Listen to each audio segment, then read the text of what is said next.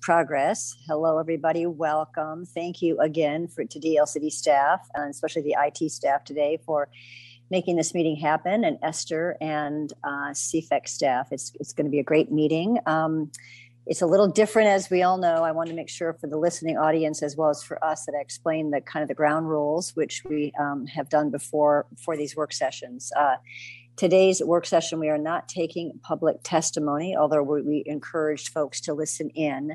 Today's the purpose of today's meeting is to prepare commissioners for our meeting next week on Thursday, the 19th of May, which will be our second official public hearing on the climate friendly and equitable communities rulemaking. Today, we uh, staff, uh, if you recall, staff came uh, to us in March and we had our first public hearing. Toward the end of that hearing, after listening to public testimony, commissioners had some more questions and asked staff to go and refine some certain pieces or certain elements of the CFEC rule. Staff has done that, and your packets were sent electronically, I think Thursday or Friday of last week. And some of us also have our physical uh, packets the purpose of today is for staff to go over the rules, the emerging draft, as well as uh, reflect on the areas of interest that the commission had. The purpose of the meeting is just to listen and ask clarifying questions so that we are better prepared for the actual hearing next week. So please try to frame your questions as questions as opposed to leading other commissioners to a position that you think we should be that be uh, you can save those uh, comments for next week um, I think with that, I don't have to deliberate further. I can just ask the CFEC team to introduce yourselves and start.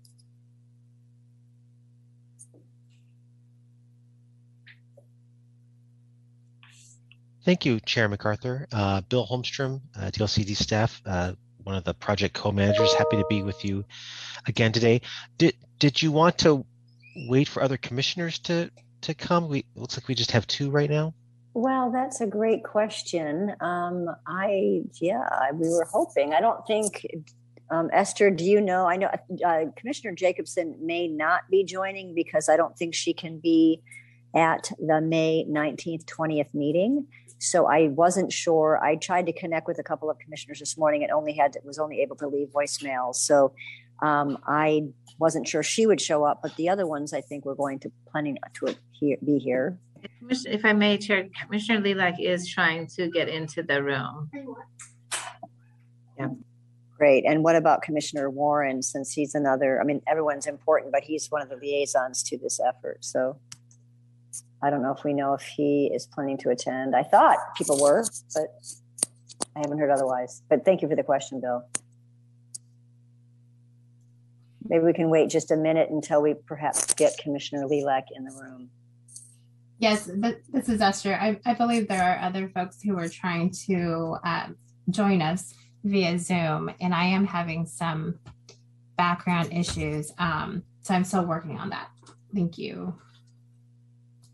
Well, why don't we wait just a minute? Um, if if Brenda, though, is here. We could introduce Brenda today. Um, She's also she just also Chair oh. Sorry, she she should be joining shortly. She okay. folks are when you're a panelist on Zoom, you get a specific email from Zoom, kind of from Esther, but Zoom generates it. So um, Brenda's going to go look for that now, and I might just call Commissioner Lelack and see what he's having trouble with. Um, um, former director Rue is also trying to get in. Thank you. Yeah. Thank you.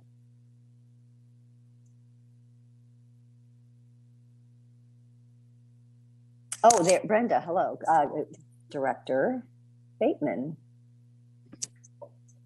Good afternoon, all. Sorry, I'm late. No, you're you're not late. It's fine. I think people are having difficulty connecting. So, um, and I won't put you on the spot. We're going to do an official uh, welcome next week at the uh, at the commission uh, conversation. But as long as you're here, um, welcome. It's nice to have you here. Thank you. It's good to be here.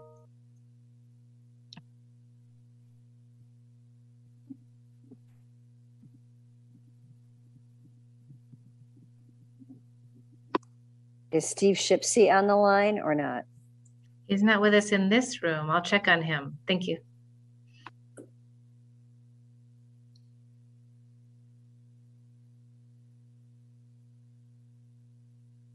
Well, I don't have a juggling act or jokes, so I can't occupy the time in that way.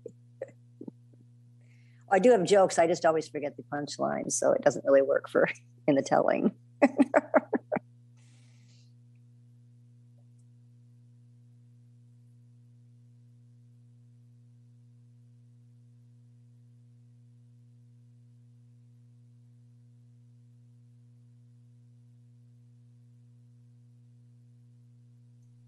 Okay, um, I welcome Commissioner Lelack. Um, my apologies for the the um, some Zoom links. Um, and then Commissioner Sandoval. Um, I have sent a separate Zoom link to Commissioner Warren um, and Commissioner uh, Boyer, as well and, as, uh, as well as um, Commissioner Hallová. Great, thank you. So I think we sh- I think we should get started. We have a lot to cover, and um, I'd like to make sure we have time for that. So um, I think we can get started. I think within a moment or two, they should be able to be linked in. So I'll turn it over to Bill. Thank you, Chair McArthur. Uh, again, Bill Holmstrom, DLCD staff, uh, one of the project co-managers, along with Kevin Young, who's here with me today, and will also be speaking. Uh, also on the line in terms of, of our uh, staff working on this project in particular, uh, Cody Meyer is here as well. And we should have um, Evan Manvel joining us as well. Uh, he apparently might be in the same boat as some of the other folks is having a difficulty getting on. So we'll, we'll be working on that as well. And uh, we may have other staff join, but uh, the majority of the, the talking today, the presentation will be from myself, Kevin, and Evan. So with Cody here to answer any extra questions. Uh, I'm going to go ahead and share my screen now, if that's all right. And we'll get started. All right, so um, here's our agenda. You can, we're mostly uh, going to cover uh, key pieces that uh, the commission brought uh, asked us to talk about uh, at your, your March meeting. So we'll talk first of all about some of the key changes that we've made since that March meeting. Uh, in particular, there's a couple areas specifically that the commission asked us to address that has to do around timing, uh, bicycle network standards, affordable housing and uh, anti-displacement, particularly in climate-friendly areas, uh, large site block standards, uh, equity analysis, and, and minimum residential densities, uh, uh, came up as kind of an issue that we need to also, uh, I think, discuss with the commission, and that's also again particularly in climate-friendly areas. So, those are the, the the broad subject areas we expect to discuss with the commission at the work session today, and of course, happy to answer any questions in general uh, from the commission as we move forward. So, changes since uh, March. And let me just move my screen around here a little bit so I can see what I'm doing. All right. Thank you. All right, so uh, attachment B of your staff report that you received last week um, is a, a, summary of all the rules that are in uh, that we're expecting to, to change as part of this rulemaking. That's uh, similar to format to what you've seen uh, your last few meetings where we've given you copies of the draft rules and, and that summary is kind of a you know a, a, big picture overview of of what all those rules mean in kind of you know in, in plain language rather than in, in rule ease. Um, in addition this time around we've added an extra column which says which is a, a summary of the changes we've made in each of those rules since the uh, march commission meeting. And so i do want to highlight that for you uh, as as someplace where we've uh, taken that extra step to really highlight what are the things that we've changed uh, since that March draft. And if you, you look at that, there's a number of rules where we've made uh, minor clarifications and the number of rules where we've made substantive changes in response to um, the feedback we received, which has been, um, first of all, from you, from the commission at your last meeting in particular, um, giving us feedback on, on a number of these issues, which we'll talk about here uh, more during this work session, but we've done in response to that. We've also heard from our advisory committee, which we convened um, shortly after the last uh, commission meeting in early April. We met with our advisory committee a 12th time and uh, discussed some of the, the questions that, that the commission brought uh, at your March meeting and, and discussed that with our advisory committee. We also uh, had a number of discussions and, and feedback from from technical reviewers from from other state agencies, particular ODOT, as well as uh, folks who are going to be implementing these rules at local governments. Uh, they've of course been a, a frequent, uh, our important stakeholder and, and, frequent commenter on these issues, and we want to make sure that um, the, the rules that we adopt are going to be uh, easily implementable by by local governments, and then uh, other stakeholders uh, across the spectrum, of course, that we've heard from and that you, you received feedback from this entire process and have been members of our advisory committee, folks like that. So, uh, heard from all those people. Um, also, you know, reviewed the rules with an eye toward clarity and consistency. Um, I want to highlight uh, the work in particular of uh, Ryan Marquardt on our staff, who's a relatively new uh, staff member in the transportation section, uh, who, who took some extra time. He is recent, most recently uh, worked with a uh, local government himself here in Oregon, so he, you know, had that eye, that planner's eye, looking at it, making sure that it, you know, things are made sense, that they're consistent. Um, I think in particular, we want to make sure that uh, we knew that the right jurisdictions that were you know which rules applied to which jurisdictions was consistent throughout. That was something i particularly in the portland metropolitan area is a little bit different. So we want to make sure we were clear about that. A couple other things like that using kind of consistent terminology. Um, also on that line same line we did have another review a second review by uh, steve shipsey of the department of justice to, to look at the lawyer's eye and make sure you know all our i's were dotted and t's were crossed. And we had just a few pieces outstanding uh, from that review, but mostly it was just kind of, again, clarity and consistency things. And, and Mr. Shipsey's with us today in case the commission has any additional questions on that. Um, there's a review of uh, written testimony or summary that the, the staff has put together. Uh, Evan Manvel on our staff uh, put a lot of time and effort into that, uh, of, of, summarizing what all we heard in those 45 exhibits that you received at your last meeting and, and summarizing that. So that's available as attachment F in your uh, to your staff report. Um, we expect to uh, send out an updated version of that document with, with staff's responses and how we've been responsive to each of those points uh, as, as part of your supplemental packet later this week. That's our expectation right now. So keep an eye out for that. So with that, I think we'll jump into the specifics uh, topic areas that we you asked us to address unless you have any uh, general questions. I'm just going to stop you just for a minute, Bill, sure. because I'm trying to get Anyeley in, uh, Vice Chair Hallová. I think she is in now. Is that correct? Um, Anyeley, I see you're not on. Your mic yes. is muted. Okay, yes. great.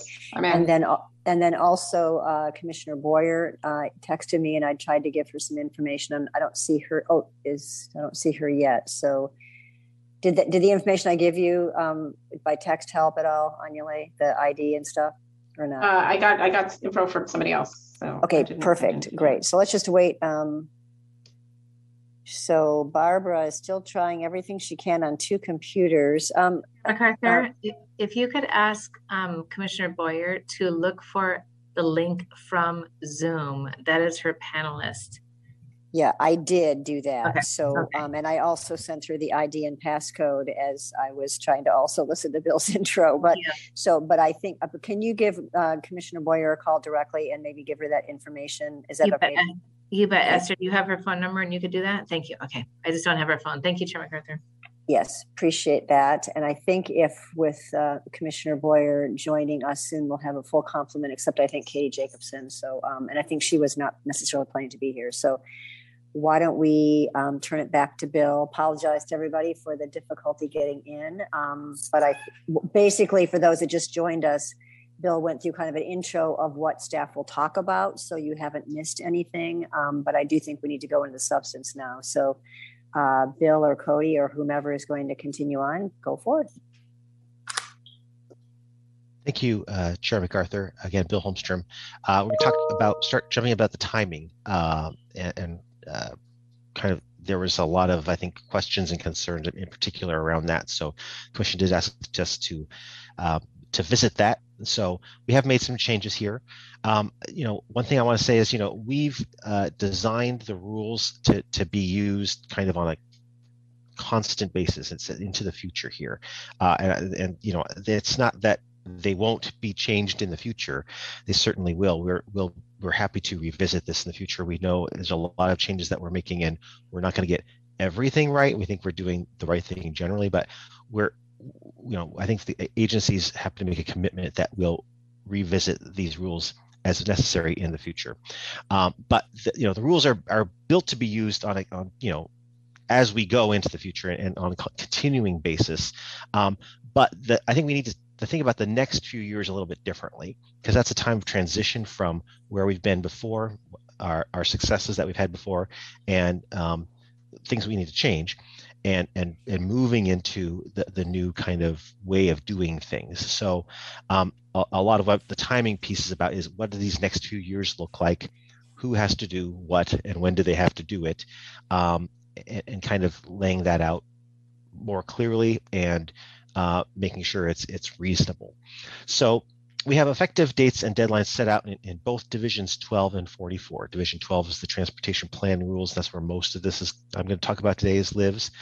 Division 44 uh, are the metropolitan greenhouse gas target rules, and uh, those have to those the deadlines in there have to do with um, scenario planning, in, in particular, uh, this for for this time around it's going to be the, the, Eugene, Springfield, and Salem Keizer areas in particular that are affected by uh, the dates that we're talking about there.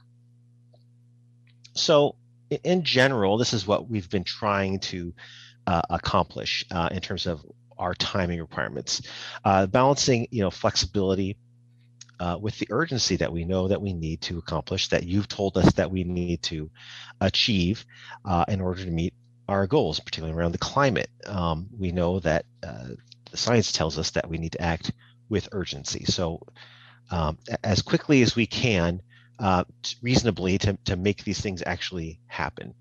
Uh, that has to be balanced with you know some flexibility and uh, being able to be reasonable about these so that we can um, you know if we put unreasonable timeframes out, they're not going to happen. So we want things to happen. Uh, we want them to happen quickly. We need to figure out what's the best way of making those things happen quickly. So that's what we've been trying to do. Um, we need to make sure that we're considering available resources, um, financial, staff uh, capacity, um, consultant capacity, all sorts of resources out there that we need to make sure that we're managing. You know, there's lots of different local governments that are affected by these rules, and if all of them are trying to do the same thing at the same time, there may be some bottlenecks there. So we've been trying to, to think about that.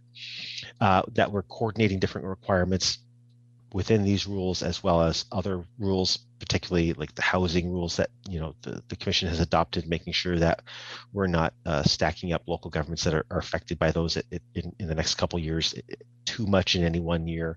Uh, we've been uh, cognizant of that. And then um, you know, considering the feedback from those implementing agencies, those local governments that are going to be implementing these rules and and and their feedback about how how to reasonably achieve these targets. So what we've done uh, in this draft is um, provide uh, in Division 12 two different versions of, of what's we call Rule 12. Uh, there's 12A and 12B that are in your uh, draft rules that we've sent you. Um, and uh, they are two different versions of, of, of timings that the, the, commission could choose from. I'll talk about that here in a few slides.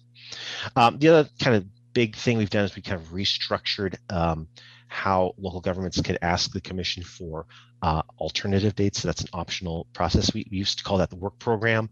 Um, I think we found that that calling it that and the requirements that went along with that, I think um, set expectations uh, uh, for local governments uh, a little bit higher than maybe what staff thought they, they we were going to get. And so we wanted to make sure that we were, um, you know, this is a, we don't want local governments to spend a lot of time putting this, you know, submission together. Uh, we want them to actually be working on the work. So we, we've tried to calibrate that.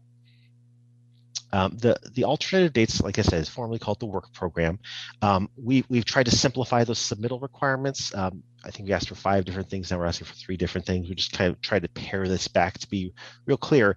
We're just looking for you to to sit down, take some thought about what what order does it make sense to do things in and um, when does it make sense to do these things based on everything else that's going on all the resources that are available um, we removed the requirement that they be re- submitted regionally because uh, that was seen as a barrier to being able to successfully uh, do this work. Um, and so that's no longer a requirement. They're allowed to if they wish to. Um, this continues to require local governments to tell us when they expect to update their transportation system plan as part of this work. Um, we've connected it to the the work program in Division 44, which the Eugene Springfield uh, area and the Salem Keizer area are going to be required to do.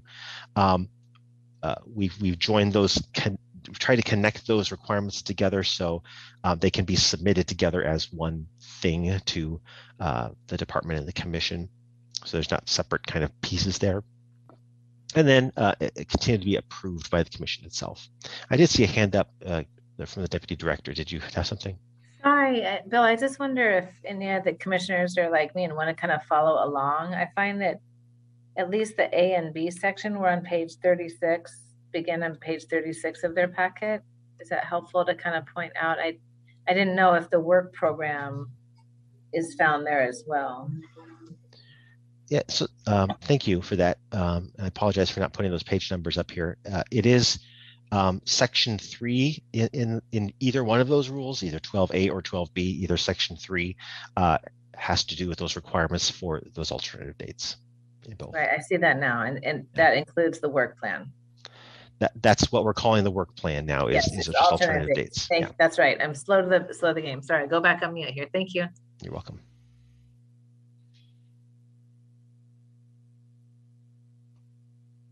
so we, we do have uh, evaluation criteria for these work programs. Uh, we expect them to act with urgency. Um, you know, it, people can't just put all their dates 10 years out and say, oh, that's when we'll get to it. Um, that wouldn't necessarily meet, you know, the staff looking at that wouldn't necessarily meet the think that met the criteria. Uh, even though we've removed the requirement for the alternative dates to be submitted regionally, we do require the actions that folks are taking to be coordinated regionally. So we expect people to actually talk with uh, the other jurisdictions in their regions uh, and coordinate to the extent possible uh, the, the work that's happening in those places. In particular, it's going to be important with this next bullet with those regions that are, have requirements under Division 44 in the Eugene, Springfield, and Salem Keizer areas, they're going to be doing additional work at a regional level. And so we want to make sure all the work that they're have to do together or individually as jurisdictions uh, is, coordinated and, and, and, thoughtful in how they sequence that work together. Uh, and, and, every place needs to make sure that they're putting that work in a, in a logical sequence. And, there's going to be kind of different ways of doing that in different places. But there's some kind of base piece of this, of this work that we know aren't going to be part of the alternative dates that we know are going to happen early, having to do with climate friendly areas, and then what is going to follow up on that. And so I think we're, we're going to have those conversations with folks. And then, of course, uh, we want to make sure folks are considering funding and resource availability. That'll be a big part of the conversations that we're having uh, with local governments, and that, that's what that final bullet says. Is you know we're we're not just saying you know throwing out this rule and saying, all right, you guys go and, and give us something and come back to us. Our expectation is that staff is that we're going to continue to have conversations with local governments about uh, the, the state's ability to help fund this work, um, what makes sense, what other places are doing. Um, you know, different communities are at different places in terms of their staff capacity, in terms of how old their TSP is. And there's lots of different pieces to this. Some some places already may have done some of the work that might be necessary here. So we just want to make sure that we're respecting each of those places and, and, and where they are uh, in their process. We know there's one jurisdiction that uh, wants to, to, start their TSP already. They're, they're ready to go. They're ready, you know, aside from this process, they want to get going um, just as part of what their city council is telling them to do. So like, how are we going to work that into everything else that they need to do? Those are conversations that we're going to need to have uh, with each of those local governments, and it's going to look different in different places. So this is a tool to give us flexibility and uh, to work cooperatively with local governments. So real quick about the options, uh, 12A and 12B.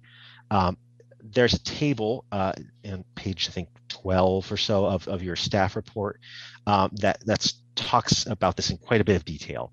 Um, so please review that if, if you're curious about what exactly each of these different sets of rules does, but in general, um, option A is the more urgent uh, version is is very similar in, in a lot of ways to what your March draft was. In some cases, um, we have added a little bit more time uh, for local governments. I think there's only maybe one one thing where we've made it shorter, and I can't remember that what that is off the top of my head. Maybe Kevin, you remember, but um, everything everything is pretty much the same or slightly more time uh, because we've we've heard from local governments that, that that's just necessary to to make this work. So that's what we think is you know reasonably the most urgent kind of set of options um, moving forward. But we, we also heard from the commission that the commission would like options. So we're providing um, uh, option B, which provides more time. Um, usually about six to 12 months um, for each of those options. And, and, sometimes they're more like two years. It just depends on the type of thing it is. Um, there's a whole range of different types of times and, and deadlines that are affected by this rule. So uh, you know, we, we try to be thoughtful about that and what made sense uh, in a logical sense when you're looking at that one whole column or the other whole column. Transportation system plans, we've heard from the commission that you wanted options on that. We've heard obviously from, uh, I think, advocates who are very keen to make sure that there is a deadline. Uh, and we, we haven't provided one so far. We, we've said, you know, we expect transportation system plans to be updated over time. There's a lot of triggers along the way that, that nudge um, local jurisdictions to move in that direction in the rules. Uh, but we, I think we've been reluctant to put a, a, specific timeline in there because of, I think some of the, you know, uh, resource constraints at the state level that we want to make sure that we're able to to provide uh, for a TSP update for everyone that is going to need one by that time. And and that was. Uh, you know, working with our partners, I think that was a, a tough thing to think about. We, we've come to an agreement on that in, in option A that there would be uh, a deadline for jurisdictions that are over 5,000 in population outside of the Portland metropolitan area uh, would have a deadline uh, in 2029. And that's um, what we were able to, to negotiate essentially with ODOT to figure out like that's that's what we were comfortable with as a state to uh, to, to put out there for a, for a deadline if the, if the commission wished to do that. Uh, if you don't wish to do that, option B doesn't have that same deadline. It's the same kind of as what we had before, where um, we expect TSPs to be updated. We expect if you send us alternate dates that you tell us when you think you're going to be able to do that, but we don't have a specific deadline in there. So uh, any questions about the, the two options here? Uh, I can't see everybody the way this is configured. So if somebody has a question, just go ahead and ask. we don't have to be formal here.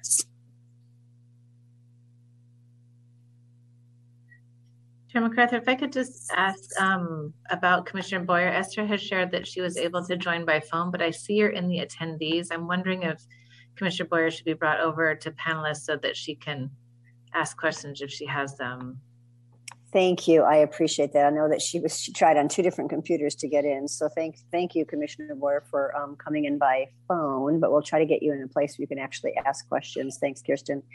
Um, I was just uh, back to the um, the presentation, I, I, think it's great. And I also noticed in the packet, uh, in the staff report, you have that really nice matrix that talks about that says on you know one axis it says um, or one first column here's what the draft was. It was presented to the commission in march and, and the outside world. And here is what how we've ch- here's the options that we've changed it to and um, and revised it. So I found that extremely useful to look at for the timing elements for other things. I'm not sure if you have the ability to put that slide up there here now, but um, I think it's really clear the way that presents the issue. So perhaps at the at the hearing we could maybe see a little bit more of that matrix in front of us. But um, that's I guess to be de- determined. Any questions though about the substance? Um, any clarification questions about timing options that? Is in your packet and will be discussed next week. I don't see any hands up again. I can't really see anybody, but I'm not sure why I can't configure this in a different way. My apologies. But again, I don't see anybody. And uh, so uh, continue on. Thank you, Chair. Uh, one more slide on timing, and that's just around Division 44, which also has some timelines on it. This hasn't changed. As far as I know, Cody can raise just wave his hands if something's different. But um, uh, this is pretty much the, the same as what it was before uh, in terms of uh, the requirements. Yeah, Cody, go ahead. Uh, thanks, Bill. Cody Meyer, Land Use Transportation Planner uh, with the department. Uh, yeah, we did have um, some very minor tweaks to add a little bit more time um, to the work plan for uh, Eugene Springfield and Salem Keizer. Um, and so we did put in six months um, at their request to have that. And then just flagging these are the, the default dates in here for the scenario plan and the corresponding transportation system plan amendments and comp plan amendments that would be necessary to implement the scenario plan. Um, but it requires uh, these two regions to submit a work program with what dates they think are doable. And then um, commission has um, the ultimate decision on whether those are acceptable or not.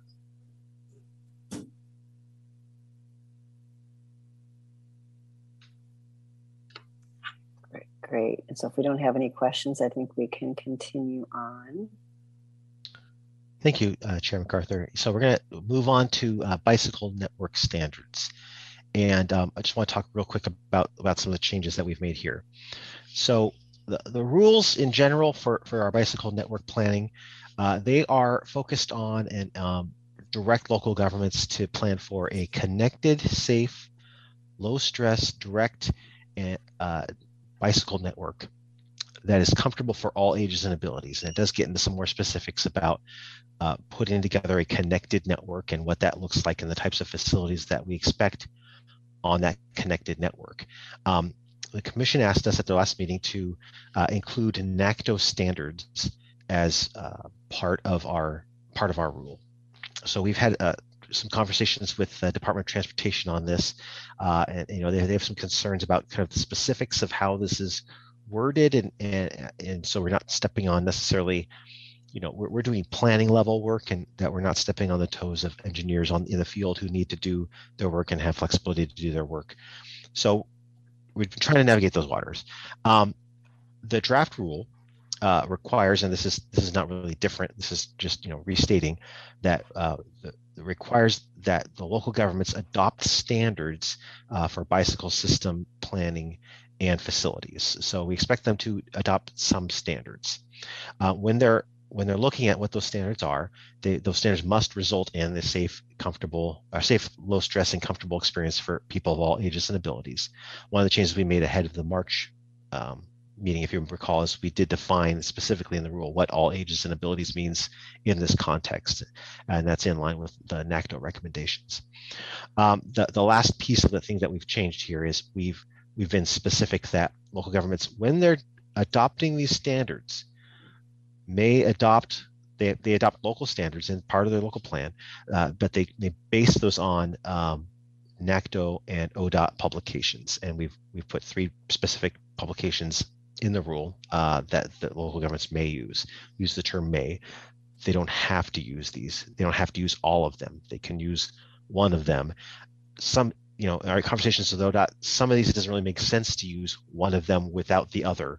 Um, some of them have kind of different pieces of the puzzle to them. So um, we're, we're trying to be inclusive here and, and let, you know, we're trying to get to a certain place where we can't necessarily be super prescriptive about how they get there because of, of the constraints that we're in. Uh, but we're setting out the, the, the large picture goals that you know they must result in a safe, low stress, and comfortable experience for people of all ages and abilities. That's our expectation. That's the commission's expectation. Uh, we're trying to give them the guideposts to get there. Uh, you, know, uh, you know, I'll say, you know, the Department of Transportation said would be more comfortable if we use the terminology adopt guidelines we, we pushed back on that said you know we need to adopt standards uh, so you know we, we this has been a um, this has been something we've been working a lot and i know you're you, you have heard from and are going to hear from uh, advocates who, who say don't use that odot publication but that wasn't going to be a um, an option uh, in our conversations with odot they thought it was very important to include that uh, and and i think that's just that's that's where we are so And that's that's all I have to say on, on bicycle network standards. If there are any questions on that. Uh, well, so it's just this is Robin. So uh, I was just wondering. So the reason for doing it this way is twofold. One, because ODOT had some concerns about the flexibility that engineers need when they're actually doing the design. Um, and is that correct? Is that a correct statement? Yeah, Chair McArthur, I don't know if I'm, I'm doing their position justice, but I think that's that's accurate, yes. Um, you know, it might be nice to have ODOT directly at our commission meeting next week so I can we can hear directly what their concerns are so that we can um, address those. It sounds like you, have attempted to as staff. I'm not implying you haven't, but um, I, I just I still kind of wonder why we can't just go with the full on NACTO, but that's just my thought at this point. Um, so then, so what you're offering is an is a way by saying using the term may you are offering a way to allow for that flexibility at the local level based on particular conditions that might be there um, in place already. And they're trying to modify a roadway or right away, for example, and put in bicycle facilities. Is that what you're thinking is on this? Yeah, I mean, we, we expect them to adopt standards, right? We expect them to have a complete and connected network of, of excellent facilities that meet all these rules. Um, does that mean every single facility necessarily meets every one of those well there's maybe another way of connect making that connection maybe not maybe there's a certain stretch where you can't meet the six feet you have to have five and a half feet or something you know there's there's all kinds of, sure. of yeah, got know, it. things that are site specific that i think that i think that's where that concern comes from um, you know there's there's lots of other things storm drainage you know who, know, who knows what the other issues are that come up that you know make it maybe necessary not necessarily being able to meet the letter of every recommendation at every single facility. Um, we're trying to get to a place where we have a, an excellent network of uh, connected network all over these communities, um, and, and, that's that's where we're trying to get to. Super, that's real, I, and it looks like you're you're you've tried to do that, so that's appreciated. Um, other commissioners, again, I can't see anyone's hands, so just go ahead and jump in and ask a clarifying question for Bill um, if you have any.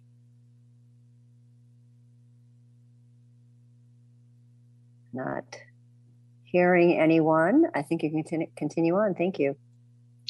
Thank you, uh, Chair McArthur. At this point, I'm going to uh, hand the slides over to my colleague, uh, Kevin Young, who's going to be talking about affordable housing and anti-displacement within climate-friendly areas. Kevin. Thank you, Bill. Um, good afternoon, Chair McArthur, Vice Chair Hallová, Commissioners. I'm Kevin Young, Senior Urban Planner with the department. Uh, can you move to the next slide, please, Bill? Um, so at our first uh, commission hearing back in end of March, um, one of the things the commission asked for was a, a revision to the rules to require local governments to adopt uh, measures to promote affordable housing and address anti-displacement in climate-friendly areas. And so the uh, revised set of rules that you have in the packet does that. Uh, the section itself is in Rule, rule 0315 of Division 12, so the part of the, within the transportation planning rules. Uh, and essentially, the rule requires a few things. A few things. First of all, identification of strategies concurrent with zoning. So the timing of that uh, work is not not at the study phase, but actually when the local governments are deciding on and zoning uh, their climate friendly areas. And the reason we want that concurrent, of course, is so that we're proactive about uh, negative impacts that might otherwise occur. Um, the rules do not set any required number of strategies. I think we expect a good faith effort, um, as we do with all of the housing production strategy work. Frankly, that this is this is kind of a, a part of that of that effort. Um, And the rules require the local governments to identify all ongoing and recently adopted strategies to, to number one, to promote affordable housing development. So they may already be doing a number of things to promote affordable housing. Uh, and that would also benefit climate friendly areas. So it would be appropriate to bring, bring those forward, but also uh, new commitments to uh, pursue strategies to um, optimize affordable housing development in these areas. And similarly, uh, the rules would require uh, the local government to identify ongoing and recently adopted strategies to prevent displacement. Um, and one important component here is that uh, you may recall from our uh, anti-displacement and gentrification uh, toolkit, um, there are different techniques that make sense at different points in uh, a neighborhood's life, if you will. There are typologies and so there are some measures that may make sense um, for a neighborhood that's experiencing active gentrification that might not make sense in an area that's maybe could conceivably be threatened by gentrification. Um, and so this this rule asks local governments to specifically look at um, you know how their climate friendly areas would kind of um, shake out in terms of these different um, neighborhood typologies. And of course, we're not expecting the potential for displacement in all areas. That may not be the case, um, or at least displacement of underserved populations. Um, but where that is a possibility, the rules would require a concurrent adoption of effective strategies. And that's that's pretty much sums it up. I'll pause here. It looks like I have a question. Uh, so when when you said neighborhood typologies, is that in reference to the typologies that were identified with the anti-displacement toolkit, like early gentrification, those typologies? That's correct. Yes. Okay. Okay. I just wanted to make sure it wasn't some other typologies related to like building form or anything like that. No. no. Okay. No. Thank you. Yep. All right. Any other questions on this component? Yeah, Kevin, I'll, I'll uh, just ask a quick, is this all we're going to talk about affordable housing and anti-displacement measures today, or will we revisit this later in the work session? I'm just curious. Yeah, that's a good question. I will be speaking a little bit later on about minimum densities and um, kind of more globally um, the issue of housing affordability, um, but not necessarily subsidized affordable housing. So depending on your comment or questions, feel free to ask now or later. No, that's okay. I, I can certainly wait. I just, I, I know this has been such a, an important piece of our um, rulemaking effort from the beginning. And uh, obviously you could speak about this for an hour and a half, I'm sure. Um, and we've t- talked extensively about it. Um, obviously we heard uh, more about it last week from from a, a group of, uh, of, important organizations and voices. And I, I, do hope that we just talk about how we might respond to that later. And uh, and we've also just talked about how 30% of the housing um, could be accommodated, needs to be accommodated in the climate friendly areas, but uh, that local governments still may plan for up to 130% of their housing need, unless I um, am recalling that incorrectly. So just it's, it's just such a big topic and um, so important to this entire rulemaking effort. You bet, absolutely, and I appreciate the the, the comment uh, Commissioner Lelack. I don't mean to give it short shrift. Um, you know, an example that we might uh, look at, for example, you know, the uh, housing production strategy um, list that we have, I think has over 110 different strategies that local governments can use to promote affordable housing, um, to mitigate for displacement. Um, you know, an example uh, of a tool that works kind of universally to support affordable housing and it would not be anticipated to you know to create uh, or would be anticipated to mitigate for displacement would be um, use of CDBG uh, community development block grant or low income housing tax credit funds to build affordable housing in climate friendly areas. That's a tool that would get a green light across the spectrum regardless of the neighborhood typology um, an, an, example of a tool that might not work in all instances would be a tax increment financing, which um, is a tool that gets used a lot. Um, and it, it, does a lot of good things, but it's also important to recognize that at, at its root, tax increment financing is dependent on property tax values rising. And so, for existing residents, um, what we wouldn't want to see would be pricing folks out of neighborhoods. And so, you know, that's an area where a local government would want to plan a little and think about how do we support um, folk, you know, circumstances for existing low-income residents so that we don't uh, displace folks. Just to just to kind of flesh out what I'm talking about, it, it's all very abstract.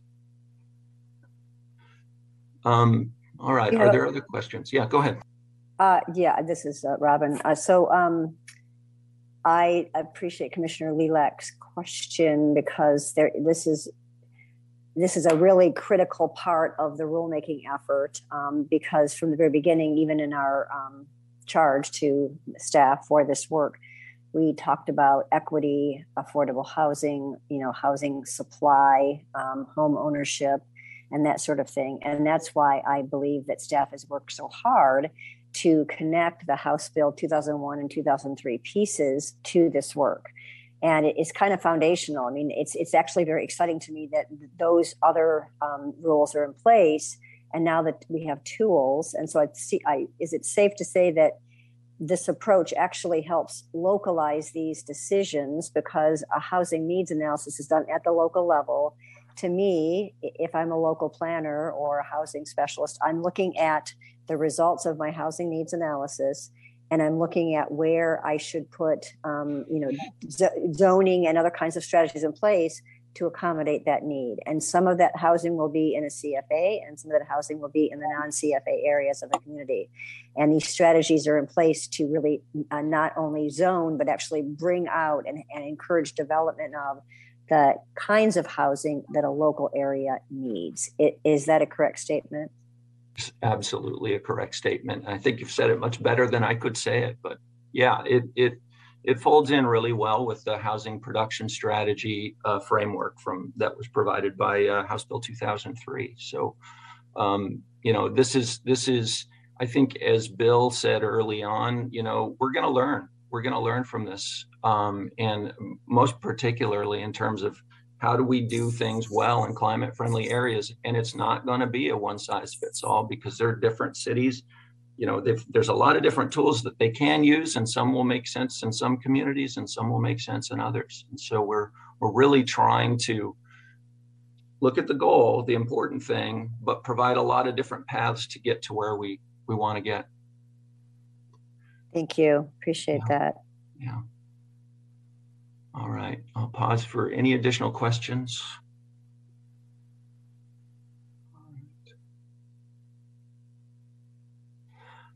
Okay, I think we can move on to the next slide. So I'll touch on the next topic as well, uh, large site block standards. Uh, next slide, please. This is pretty straightforward. Um, again, at our uh, first hearing at the end of March, uh, commission provided direction. That you know an issue was raised of well you know if there were a large site that were designated as a climate friendly area say a, a large site that had either not been developed or maybe for some reason a large scale redevelopment was warranted would it make sense to apply a smaller block length standard in that circumstance? Um, because as you recall the standard that we had prior was sort of a compromise because what we were not wanting to do was to disincentivize redevelopment in existing established areas where uh, street dedication and street improvement would be a significant hurdle to redevelopment. That's why for the development site that's less than five and a half acres, uh, we set block length at 500 feet or less and then require a pedestrian through block easement if that block length is greater than 350 feet. However, for the large site, and that's defined here as more than five and a half acres. Uh, any any development site of that scale, the requirements would say the local government shall establish a block length of 350 feet or less. And I'll note we've revised our, our reference to the exceptions allowed um, to uh, section 330 of the rule just for clarity. Um, and there are a number of exceptions based on topography, existing uh, built conditions, um, you know, freeways, that kind of thing. So um, that's basically how this rule would function. Are there any any questions about that? Okay. All right, I, I see none. So um, I will turn now, uh, I think, turn things over to Evan. Thank you, Kevin. Yeah, we wanted to um, circle back on the equity analysis um, issue and exactly uh, what we're uh, requiring when. So next slide. Um, so in looking at uh, kind of the, the equity analysis overarching thing, um, we realized that we were asking a lot um, and people were feeling overwhelmed by it. So we wanted to split that into two pieces, and we wanted to do, do good equity work in in all the decisions, but um, kind of more in depth uh, during the major decisions. So uh, we split it up into something called engagement focused equity analysis.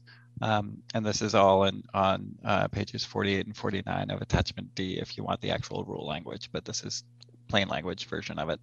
Um, so in, in engagement focused equity analysis, uh, where we ask communities to really engage with those underserved populations. We've identified and uh, develop key outcomes for the decision um, to really gather all both qualitative quantitative information uh, think about intersectionality um, and then kind of do some independent like okay let me analyze this uh, this proposed challenges and, and kind of see how this might impact um, our equity outcomes that we've identified and you know do, say, okay, if we're let's not advance inequity, let's advance equity. So adopt strategies to make sure that that um, the decisions are moving that forward and, and reporting back to those populations who've generously um, engaged and shared their insights and wisdom. So that's kind of an engagement focused equity analysis. It would happen during minor transportation system plan updates, um, during the study of climate friendly areas, um,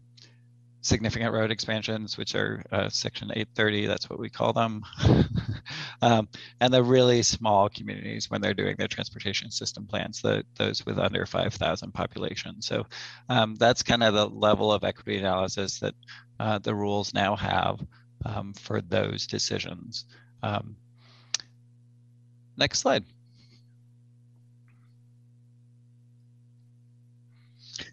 So the second uh, thing is this this thing that was overwhelming to some people, and this would only apply under um, major transportation system uh, plan updates. So this is this is the thing that we joke, you know, we've joked about. Oh, a doctoral thesis could be written about the assessing and documenting and acknowledging um, all the past decisions that have played into this. Um, and we imagine again, uh, so so that so all the, the major equity analysis requires all the things in the previous one because engaging the voices and hearing the real stories um, is a key part of the process of getting an equitable outcome. So so everything on the previous slide happens during a major TSP update as well as the the other four items on this slide. So it's it's that um, really looking at um, where our land use and transportation and housing policies and climate change and racism have impacted those uh, populations, um, the underserved populations that we're trying to address um, equity issues with. So that's that's items two and three on here, um, and it may be very community specific. It may be broader. Consultants may really specialize like okay we understand here here are the things in in us practices and oregon practices that apply. And it, you know a lot of consultants do transportation system plans that have similar elements across communities and this may have some of that as well. Hopefully there's some local data there um, but uh, until we do these we're, we're not going to see exactly how robust that is. Um, so uh, and then item four is really identifying some geographic areas um, and we change this from uh, um, uh, high concentrations to significantly disproportionate concentrations of underserved populations because uh, one of the comment letters from the city of Springfield uh, rightly showed, showed that inequity is sometimes an absence of certain populations. So it's it's been exclusionary. So it's not just where we have high populations of, of underserved population or high concentrations of underserved populations, but um, very high or low um, kind of um, so that's that's item four is kind of doing some uh, geographic mapping of that. And the last thing is uh, I, developing key performance measures.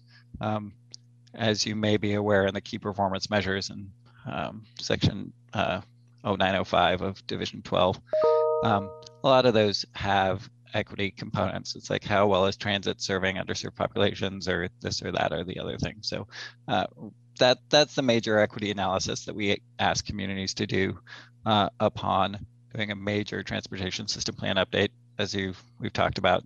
Um, those can happen every five to 20 years.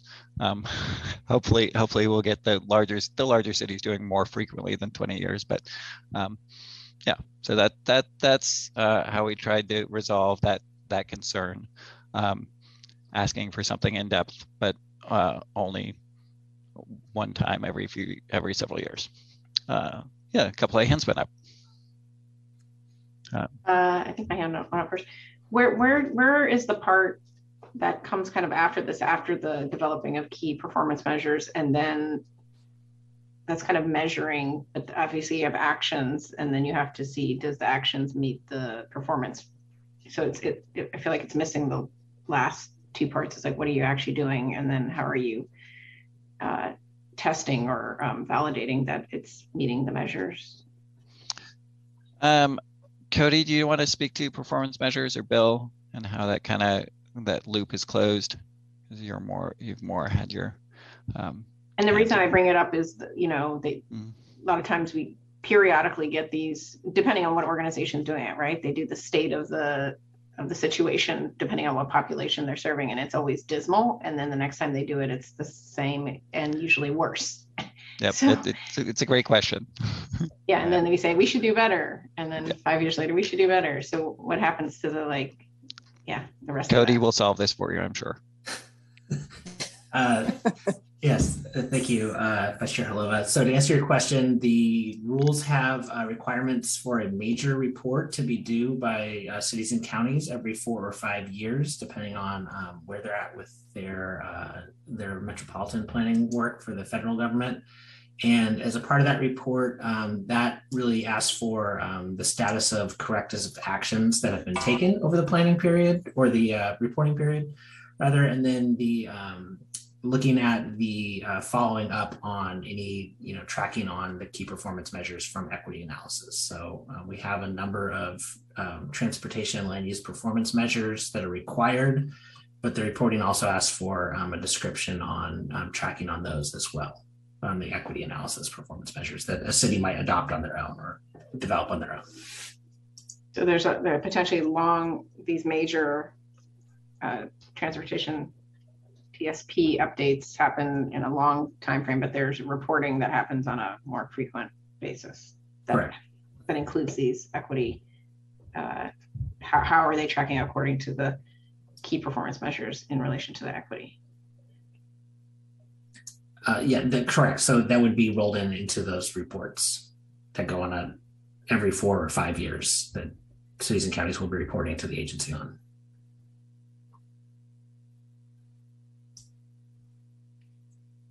Any follow-up, uh, Vice Chair? Uh, no, I mean, I, my next question was thinking, but I think I know the answer, which was, uh, I guess each jurisdiction it comes up with their own equity uh, key performance measures.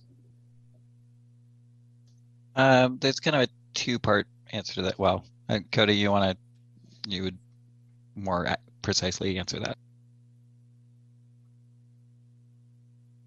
I, I, think to answer that uh, question, it's really, yeah, when the equity rules in here are asking um, to consult folks on the ground and come up with the actions that, you know, what are the outcomes that we as a city uh, want to see happening, and then to come up with the key performance measures and then to track those. And so those are, you know, we don't know right now because that's context and situational um, to doing the equity work.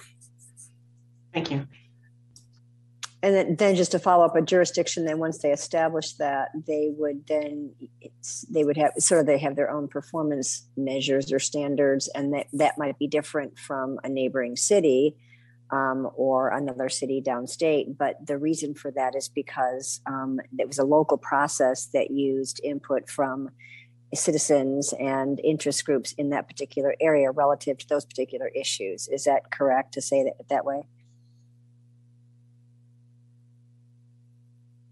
I think so. Yes, Chair McArthur. Thank you. I see Commissioner Lelack has his hand up. Thank you. Um, and this is probably a basic question. I should know the answer. Um, but and I really I appreciate the clarity that was just provided with with all of this piece. My question is is is the is the and, and I and I get that any TSP update is a comprehensive plan amendment. Is the equity analysis uh, and the performance measures are they adopted as part of the comprehensive plan update, meaning that they're also appealable, or could they be adopted simultaneously as part of the package, but they're not appealable? I just, I, I can expect local governments may want or may seek clarity on that. I'm just, I just don't know the answer. I, I probably should at this point in the process. Thanks.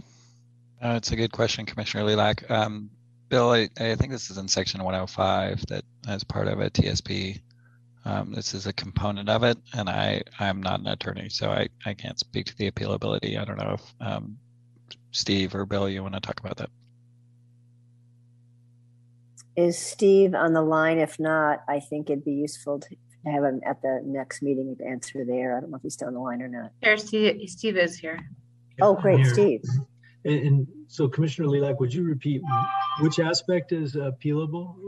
Yeah, yeah, thank you. Uh, just the local governments have to perform the major equity analysis and then and and adopt performance measures, um, and they're doing that during or as a part of the TSP update. My my question is is just given that this is new territory, the which and I think it's very important territory, but is the would the equity analysis analysis and or the performance measures um, be appealable as you know as a standalone item? Somebody could say, you know, your equity analysis didn't go far enough, or your performance measures aren't measuring what we think you should measure. You should be measuring these things.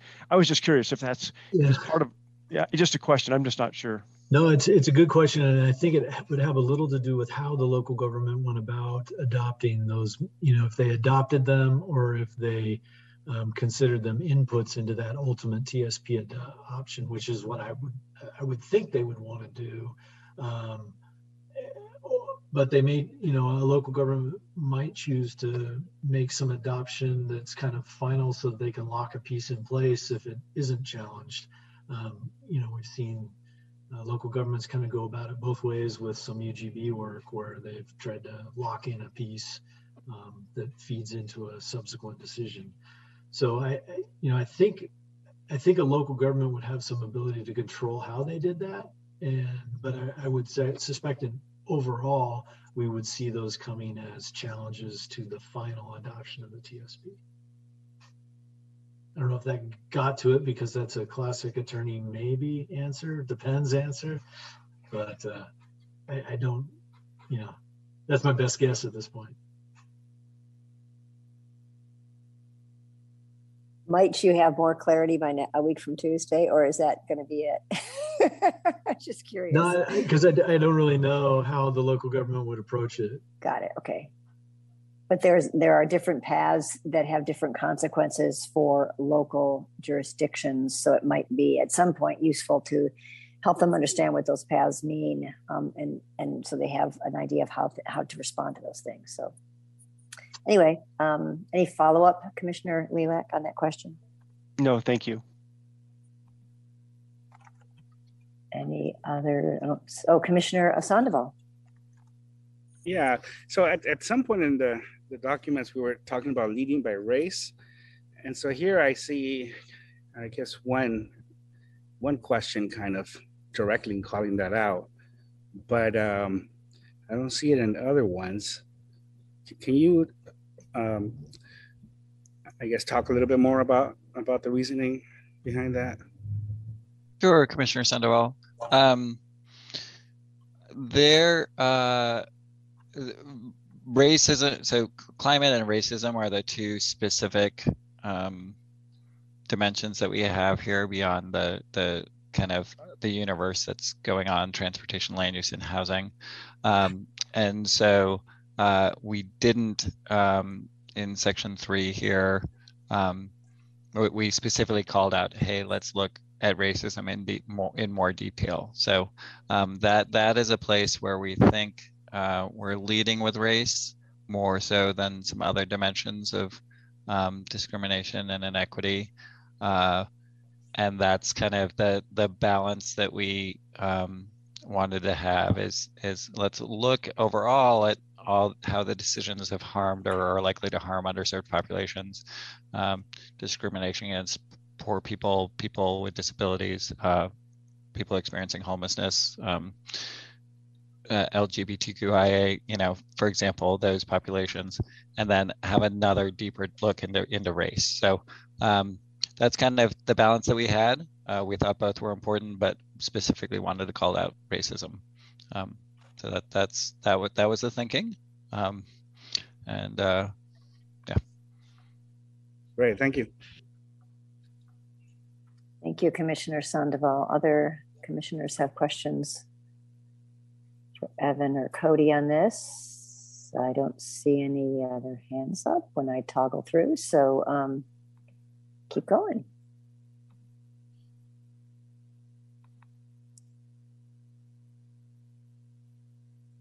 All right, it looks like we've reached the end of our agenda. Um, and I'll be talking about minimum residential densities, which is something we've we've heard a lot about. Um, I know that um, the commission has been hearing concerns. We heard some at our first hearing um, regarding uh, whether climate-friendly area requirements, including minimum residential densities, would uh, limit the variety of available housing types in climate-friendly areas, would uh, increase housing costs, uh, provide few ownership opportunities, and whether they generally would set the bar too high uh, in terms of development that we, we want to see. And, and if we set the bar too high, are we actually uh, disincentivizing development with minimum residential densities? So to kind of talk through this, I wanted to just start with, you know, the question, the fundamental question, why CFAs? Why, why are we requiring climate friendly areas?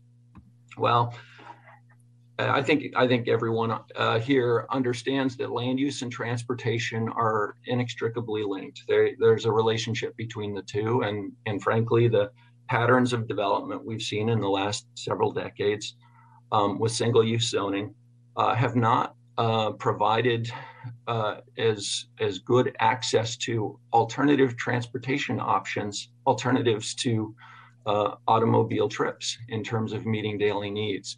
We do know that walkable mixed use areas significantly reduce reliance on vehicle trips. So if we have a mixture of uses and we have jobs and housing and services in close proximity, it makes it easier to walk, to bike, to use transit.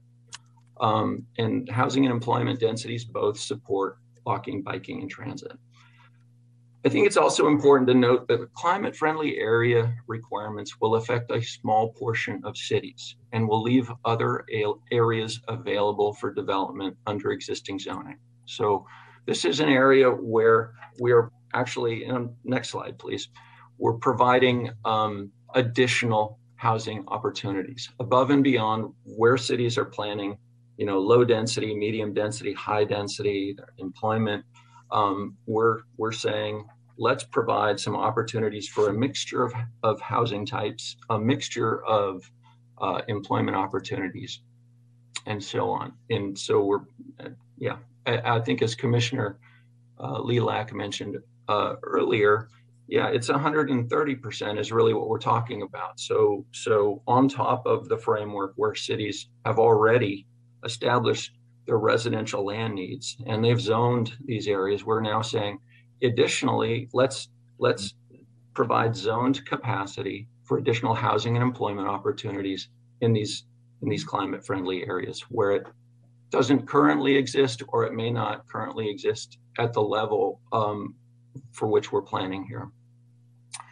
Another important point is that climate friendly areas will impact residential land supply only to the extent that they're successful. Uh, obviously, we hope they'll be successful. They need to be successful if we're going to meet um, our goals in terms of um, climate pollution reduction. Um, but if uh, it doesn't happen, um, cities will continue to plan for to accommodate the residential uh, land needs as they have previously. Um, so, so we are basically setting the table for development to happen. Um, we are looking at tools to incentivize that development and, of course, to promote affordable housing development, minimize uh, displacement uh, that, that could occur in these areas. But, but essentially, at the end of the day, it's largely going to be a market response uh, to these standards. We've made some changes to the rules over time. We started out with really what was kind of a one size fits all of, you know, hey, let's let's aim for the sky. Let's let's say you got to allow building heights that are super tall and, you know, higher densities. Uh, we heard very clearly it's not a one size fits all. Um, and so the rules uh, now that you see in front of you allow flexibility for uh, local governments to designate less intensive climate friendly areas outside of their primary CFA area. So the rules require local governments to designate a primary climate friendly area that's at least 25 acres in size. But they are welcome to designate other climate friendly areas elsewhere at a lesser intensity and that may be more compatible in some com- communities. That may be a better, frankly, a better way forward in terms of getting the, the jobs housing balance um, that we're wanting to see. The other point is that um, there's an alternative path. Um, you know, there's been a lot of reaction to minimum densities and, and the requirement for minimum densities, but I think it's important to come back to there's another path that's available for local governments, which is the outcome oriented approach where a local government says, hey, we, we think we have existing zoning code or we're developing a zoning code that we think will accomplish what you're needing to achieve in climate friendly areas. And it would not require the local government to apply minimum residential densities. So there, there's another path available. Uh, next slide, please. um, and then some important kind of getting down into the weeds a little bit in terms of how the rules are applied, I think it's important to note too that minimum densities are not applied to mixed use development. So any building that includes a mix of residential and office or residential and commercial or what have you, we would not, the local government would not be uh, required to apply a minimum density standard at all. We have also, uh, in addition to that, we have in this last draft uh, included an allowance for a local government to require ground floor commercial and office uses in climate friendly areas. This is a tool that some local governments use. We're not saying it should be adopted everywhere. It may not make sense everywhere. But I will say that making this available to a local government basically allows a local government who's following the prescriptive path to avoid applying minimum densities if they don't wish to. So essentially, you say, okay, we want ground floor commercial and office. You put as many residential units above that as you want to, as long as we have a, there is a 2.0 FAR requirement, as long as the, the uh, development meets that level of intensity, you're good to go. No minimum density is applied. Another uh, new tweak that we made to the rules is to allow um, adaptive reuse of existing buildings. So um, you know, one of the things I've heard from historic preservation advocates is that sometimes the most climate friendly approach is to not tear down the existing building, but to repurpose it. And so we recognize that applying minimum densities in that circumstance could actually incentivize demolition of buildings that might be productively repurposed. So the latest draft of rules allows for adaptive reuse of existing buildings. They may or may not be designated historic, doesn't matter uh, it's a provision that allows more flexibility. Lastly, I'll note that uh, your staff report um, does kind of a deep dive in terms of the housing types that uh, can be allowed in climate friendly areas. So we looked at density, we looked at the implications for small lot single family and all middle housing types uh, certainly attached single family, but also duplexes, triplexes, fourplexes, um, cottage cluster. Um, based on the densities that we're looking at, all of those housing types would be possible in climate friendly areas. And I think that's an important point because Senate Bill, I think it was Senate Bill 458, which passed a year or two ago, allows for land divisions uh, for middle housing types. And what that means, um, what that means is that we have home ownership opportunities for people, which is another uh, another criticism that we've heard of the rules. So um, anyway, that's just some perspective. I want to kind of reply to some of the um, some of the comments that we've heard. Uh, we've really tried to create a lot of opportunities with these rules and a lot of flexibility. Are there any questions on these provisions?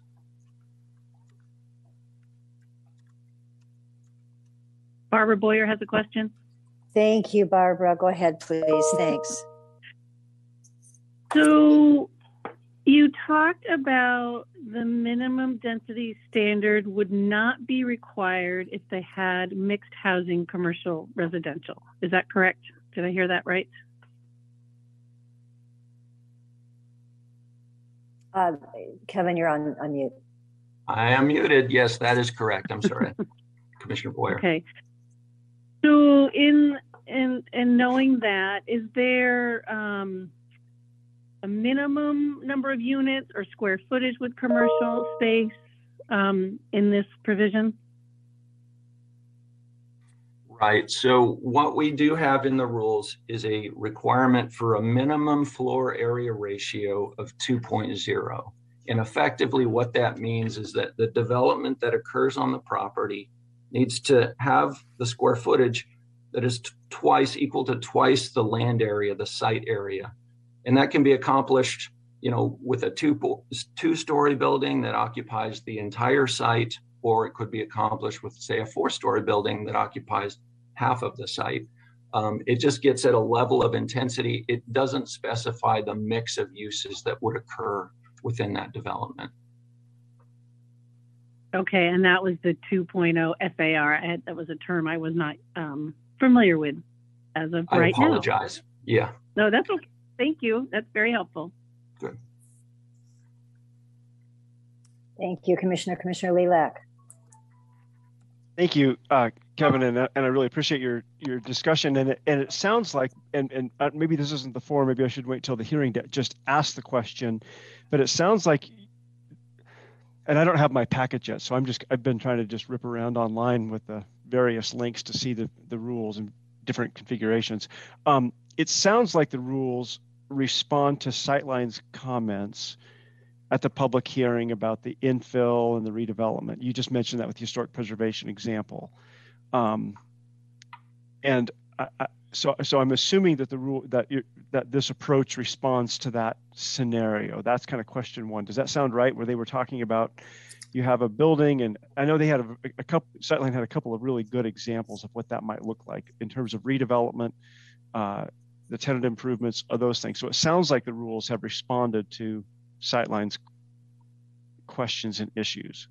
I'll, that's my first question. I've got a couple. All right, thank you for that that question, Commissioner Lelack. I will say we have come part way. We've certainly been engaged with staff from Sightline. Um, and yeah, this is an area where uh, adaptive reuse, I think, really makes a lot of sense, and we, we we see a way forward there. I will say that in our engagement with local governments that have administered minimum density requirements, you know what what I've learned and actually observed is that to allow sometimes when you allow an incremental density, um, it really can inhibit redevelopment um, for a long period of time. For example, even something as small as an accessory dwelling unit, adding that to a site mm. can really make the difference in terms of whether redevelopment pencils or not, or, or makes financial sense or not. Um, and for that reason, we've kind of fall stopped short of of going to some kind of incremental uh, measure um, because again, we're it's it's trying to balance a lot of uh, competing competing things here. Thank you. Uh, my second question um, is uh, our, uh, I think it's Jeremy Rogers, our realtors representative at the last RAC meeting just talked about the scenarios in which a local government may be in a, in a position to deny a project because it doesn't meet the minimum density standards in an area, even if it's an increased density. And I think, do I understand that the um, alternative path approach may address the issue that was raised at that RAC meeting. Can you just um, kind of walk me through that that scenario a little bit? That would be helpful. Yeah. Yes, yes, and thank you, Commissioner Lelack. Yeah, that's absolutely right. So again, that outcome-oriented approach is not required to adopt minimum density standards or height allowances as set in in the prescriptive path. So in in a, in a sense, the local government is allowed to choose their own adventure to to you know, hey, here's our development code here's how it's working. If it's something that they've had in place, that's great because then they can point to development that's happened. And if it is achieving what we want to see, um, it's good to go. And there's no need to apply a minimum residential density in that instance.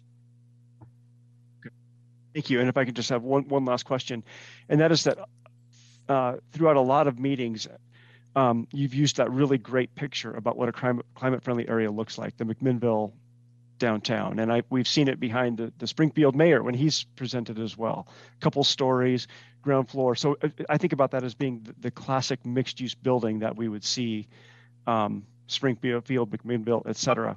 And so as I understand it, in a mixed use uh, development, those would now clearly be allowed uh, be, without meeting the minimum density standard because they would have the ground floor office, retail, what, service, whatever it may be, and then the upper floor residential standards. Do I, am I understanding that correctly?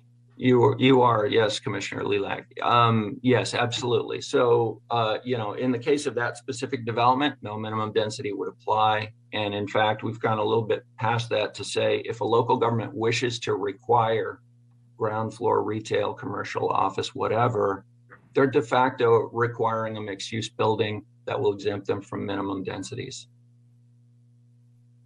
Thank you. All very helpful, Kevin. Thank you. Other commissioners have questions for Kevin? Don't see any hands up. Um, I really appreciate, I always appreciate the whole staff. Um, and in particular on the housing piece, Kevin, you do a really nice job of explaining this. Um, I think there I, there still remains a lot of misinformation and perhaps out there, I believe, about what these rules do and don't do. Um, and perhaps it comes from confusion. And I've had my own points of confusion. I things get clarified the more you talk about these things. And so I'm just thinking ahead to the actual hearing next week um, the idea of pictorials, you know, site plans. I mean, it's more than just words. Some of us are visual learners. Some of us, you know, can read language and uh, totally comprehend it. I like pictures. So I really want to get at some of these issues that have been raised recently, but throughout the process. And something that we're really concerned about is what is the the cumulative effect of House Bill 2001, House Bill 2003, our rule, how, our draft rule, how does that affect housing supply, affordability, home ownership? Those kind of the critical questions I've read from some of the materials we've received throughout the process, and so it's not new. Um, but I want to really understand that, especially in terms of some of the things you're describing today, which is flexibility on the ground, because one area might have a different housing need than another. There's different displacement strategies or anti displacement strategies, excuse me, to put in place. But there's also different ways to um, uh, address density, um, livability, and those kinds of things within the CFAs. So that's a tall order. I said a lot, but just a few more pictures, perhaps, um, diagrams, whatever you come up with. And, and, you know, it seems to me, and the when we were doing the housing 2001 rulemaking, um, we had to hit this sort of same place. We had a lot of really great words, and we were kind of getting it. But then at the final meeting or the meeting before the final meeting, you had graphics and pictures, and I go, "Oh, well, that's what you mean. We get it now." So if you could help us along those lines, um, I, I'd appreciate it. Thank you, Chair. We'll do our best. So we're at the end of sort of the formal presentation from staff. And so I was kind of jotting down what I just said, some things that we might want to see at the hearing to help us or the and or the audience understand uh, what the draft rule says and does or would do on the ground. So perhaps this is a place where I could open it up to other commission members to request um, some things that you think might be useful from staff um, in a week and a half. Chair McArthur, do you see Commissioner Lelack's hand is up? I'm not sure if that is. Thank you. I, your your head is cut off on my screen, so thank you. I do not see your hand up, but go ahead. oh, well, thank you. If we were just beginning the process of of yeah, big picture discussing in the next 10 days. That, I was just going to jump in on that question. Given that we uh, there are a, a, lot of changes in the revised rules, um, and I'll just say, staff, thank you. Clearly, you're the, the package is continuing to evolve.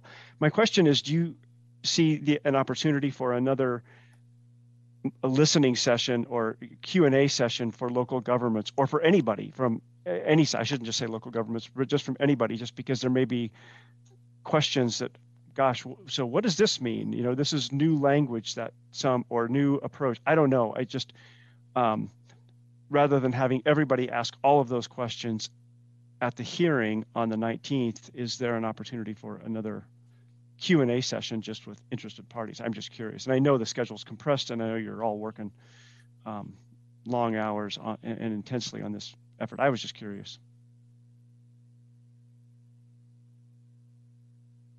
Uh, thank you, uh, Chair uh, McArthur, Commissioner Lelack. We hadn't scheduled one for uh, between now and the next commission meeting.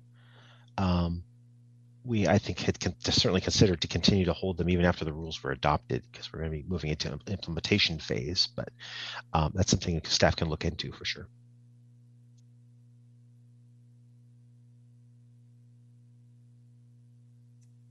Other Commissioner Lelack any follow up or um, other commissioners? I don't see any hands up. Jim Rue, do you, do you have anything you'd like to add or say at this point? I do not. Thank you. Thank you. And then uh, uh, Deputy Director Green. No, thanks. I think, you know, this is just such an important discussion. And I appreciate Commissioner Lelack asking on behalf of the cities, you know, for a, for a, for a Q&A session. And it, it looks like Bill said, you know, they could um, look for time on the um, schedule. It would be open to all. Um, so it'd just be for all local governments. Um, I think we've asked the RAC to put in their work for sure, but I think Commissioner Lelack was simply asking for all potentially regulated communities to have an opportunity to come ask questions about how things have changed, et cetera, now that the commission packet was posted last Thursday. So probably I would say either sometime later this week or early next week, but but definitely the sooner the better. But need to also give people some time to read the rules as well. Yeah, thank right, you. Right. Yeah, that yeah, that's the that's the issues, and I think that's a good idea. Um, uh, I did find, as I said earlier, that the matrix is extremely helpful because it takes the draft that was presented to us in March and then takes us through the changes. Really, I think it's a pretty nice primer to where we would go in the actual rulemaking or the draft rule to figure out what's going on. It's, so it helped me, perhaps it would help others as well to reflect on that. Um, I don't.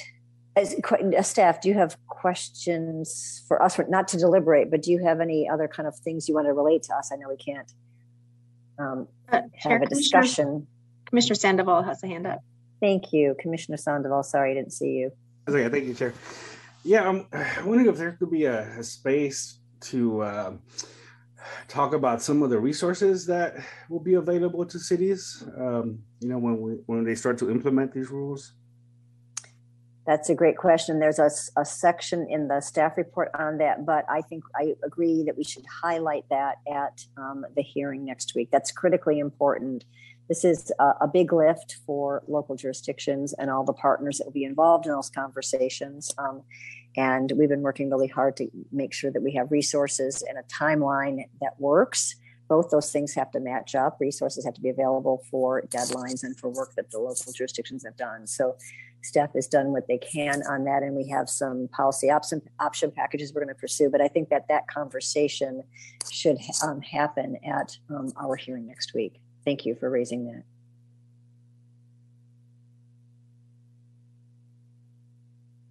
Uh, I don't want to forget Director Bateman. I know you're new to this, but and you're probably drinking from a fire hose as we speak. But if you have any um, uh, thoughts or, or comments you'd like to make at this point. Thank you, Madam Chair. I've obviously been watching this for a long time and um, just struck by how much work and energy and investment has gone into this. I'm very pleased with the process. Um, and I, I, think it was already pointed out that many of the questions that folks have been raising um, have been answered in our materials, which are extremely thorough. So I, I, do want to give folks a chance to read through all of that and um, internalize it and, you know, maybe not hold, hold too many um, hearings before they get a chance or uh, events before they get a chance to to read through and um, really thoughtfully consider everything that's in there. I think many of the, the questions are answered. Thank you, Director. So, hearing or not hearing, not not seeing uh, any other hands, and not hearing anyone uh, offer anything in the way of a question or something else you'd like staff to reflect on. Um, there'll be it'll be a more robust conversation. I think you go into more detail on some of those topic areas uh, and um, and and the rest of the staff report pieces.